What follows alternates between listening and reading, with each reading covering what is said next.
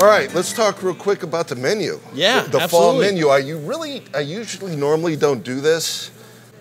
You know, I'm a foodie and I, I love to see what's going on. I love to see the menu changes as as a lot of chefs do around town. Not all, but let's talk about the uh, the dinner menu for the fall. Yeah, absolutely. You know, so we just rolled out our fall dinner menu and lunch menu two weeks ago. Um, we do about two large menu changes a year where we pretty much just throw everything in the garbage and start from scratch. You know, we keep the steaks pretty much the same. I think that we got a really nice selection of steaks that provide uh, a wide variety on whatever you want at any given time. I'd say that's a damn good selection. You know, it, it works. I, yeah, I'm pretty happy with it.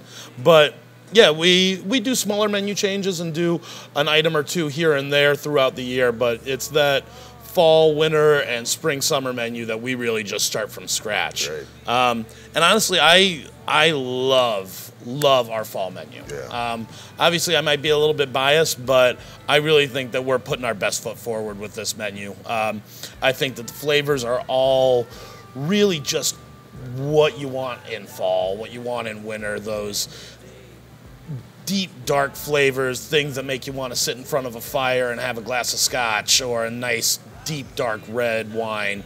Um, you know, from your squashes and sage, um, you know, to curry. Like, you know, we we're using curry on this menu, a um, little out of the ordinary for a American steakhouse, but it's just those flavors play so well together and really, um, you know, make you think of fall. I love the burger. We talked about this in the past.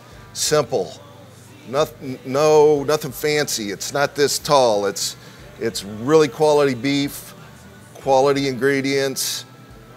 Done, right? You know, like you said, I I'm never gonna be the guy that wants the triple layer Western barbecue burger with an onion ring and Cheese barbecue right all over the sauce. place, yeah. You know, I've had some of those that uh, you know are good, but when it all boils down to it, I'm a really simple guy. You know, if I want a burger, I just want the best burger that I Yeah. can put on the plate. Fresh ground meat, great artisan bun, you know, from the local bakery, good quality cheese, nice thick cut bacon, onion and pickle. What else you need? Uh, so the bacon here, in case you don't know, I, I would argue everything's really great here, but correct me if I'm wrong.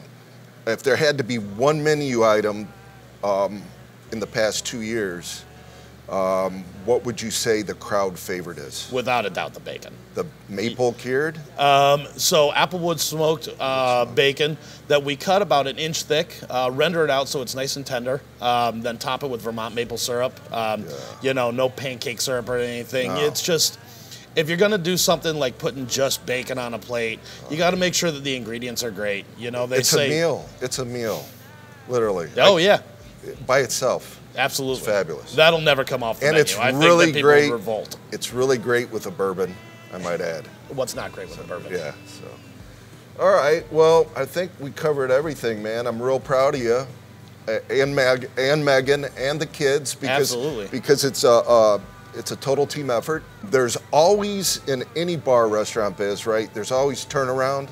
That's just part of it. Yeah. But you've you've really guys have done a nice job maintaining like the core Absolutely. of your staff. That, that's that's a plus. we are incredibly, incredibly fortunate with the people that have bought into this restaurant, um, you know, that have become our family. Um, you know, eh, like you said, any restaurant, you know, when you open up a restaurant, you hire twice as many people as you need because they're all just going to fall by the wayside. Um, we didn't have that issue here. You know, we found people that really care, that we care about, um, that will go out there and they live, breathe, and die by benchmark, and you know, they are what make this place special. Well, they're proud of it. Well, It's, um, it's always nice when someone has a place to go to work that they can be proud of. we, and uh, uh, we're proud of you guys.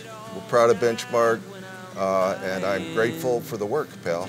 absolutely. Thanks for everything. Yeah, man. I am no criminal, but I think that I can see how a man could want something so bad he'd do about anything. You're too proud to tell me, but you know just what I mean. And of course, I'd never ask you in spite of everything.